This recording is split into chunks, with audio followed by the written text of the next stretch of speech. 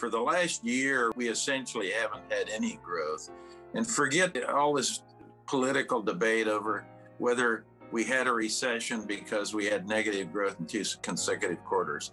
The National Bureau of Economic Research is the one ultimately that defines whether we've had a recession or not. And they do that with about a year lag after the actual event occurs. So they haven't pronounced anything yet. And they're not going to pronounce, by, in my judgment, that we actually had a recession in the first and second quarter, even though we had negative growth. But the question is, where are we going? And where are mm-hmm. we going is determined by where the money supply is going.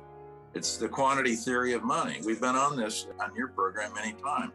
The quantity theory of money is a way to determine national income determination, where it's going, and what do we have. If you look at all the underlying core inflation metrics, actually they're going up. So we have still lots of inflation in the system because of that surge in the money supply growth in early 2020 and really throughout the year in 2020 going into 2021. Now, what do we have? The last seven months, the last seven months, the money supply has actually contracted by 1.1%. The last seven months. That's uh, almost unprecedented. And that means, of course, you have a big change in the money supply, and then there's a transmission mechanism. There are lags between the thrust in the money supply, whether it's going up or going down, and what happens in the real economy, what happens to asset price, what happens to inflation. So, sometime in 2023, we've got a, a pretty big inflation baked in the cake.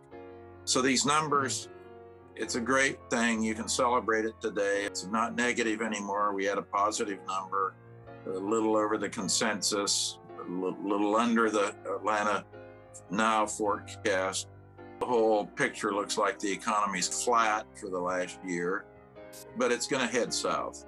And we know it's going to head south because the money supply is contracting. And we know it probably will continue to contract because the Fed is not looking at the money supply and they're engaged in what they call quantitative tightening, where their, re- their contribution to the money supply by the Fed is actually contracting itself keeping the money supply even close to level is a contribution made by the commercial banking system.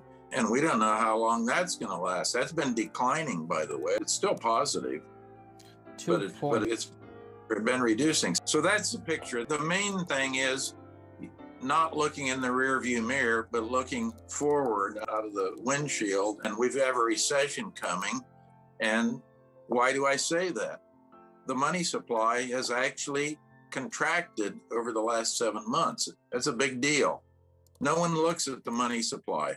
That is the thing you have to look at if you're looking for where national income is going, where, where the real economic activity as well as inflation is going bringing the money supply down from an average growth rate that, that it had been for the last two and a half years of around 15%, bringing it down to the golden growth rate of about 5% or 6% that's consistent with a 2% inflation, that's fine.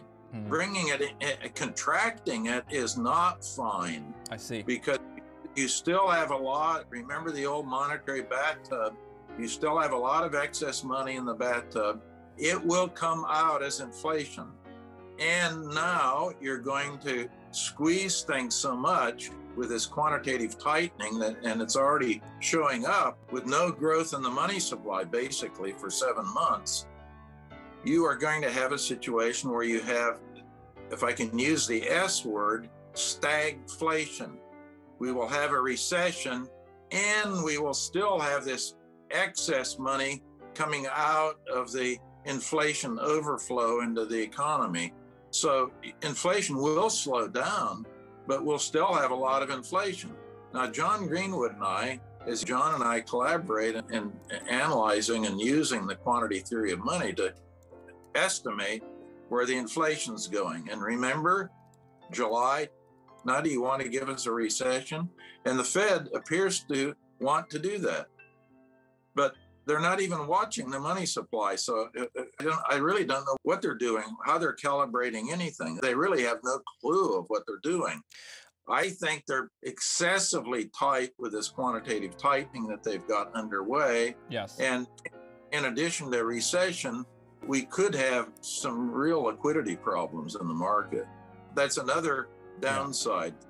But this is charted territory. You get this string of seven months of no monetary growth, and they have announced and they are engaged since June in quantitative tightening, shrinking the balance sheet. And what's that mean? That means the contribution to the broad money measure M2 by the Federal Reserve is going to be negative. They won't be contributing anything. So the only thing that will be keeping the money supply growing is what the commercial banks are doing. And the commercial banks so far have more or less offset the contraction and the negative contribution by the Fed. But we don't know if that will continue or not. It's pretty clear Andrew Bailey, who's the governor of the Bank of England, doesn't know what he's doing. He's not watching the money supply either. He's exactly like Powell. Neither one of them pays any attention to the money supply. And as a result, they've got things in one hell of a mess in the United Kingdom and in the United States. Now, the United Kingdom, by the way, their inflation rate is nine at 10.1%. 10.1%. So they have even a bigger inflation problem than we do. Plus, they have, before I get off the Bank of England and, and the Federal Reserve, both of them have not been able to anticipate the inflation that they have caused. And and they look like both of them are going to drive their respective economies into into recession so you've got stagflation. I would say that in the military if you screw up and miss a target you end up with what's called an after action report. Now the after action report tries to find out why did they screw up? Why did they miss the target? And and usually, by the way, those are followed with court martials. So that's what should be going on. Instead, Who's going to get court? We've got two governors that I think would go out the window in a hurry in an after-action report. They'd both be court-martialed immediately. The, with regard to the Fed, you've got Jerome Powell. In regard to the Bank of England, you've got Andrew Bailey. Now, England there, there's a, another little uh, twist in the in the UK story, and that is we've had two duds as prime ministers. You had Boris Johnson, and Boris Johnson's problem is that he's a big gas bag. He's full of hot wind. He, he has no he had no interest in any details in terms of economic policy. And the worst thing he was a big warmonger. He got the UK into this war they're in with the Russians. Now that that is a big problem because it dents confidence, and of course it puts a big hole in the budget. The budget deficit is way too great, and the only way to establish confidence is to reduce that fiscal deficit, and you do that with a tax increase and a squeeze on government spending. So then what what about monetary? They goose the money supply. Yeah. On, on the recommendation of Walters. And Walters knew as a good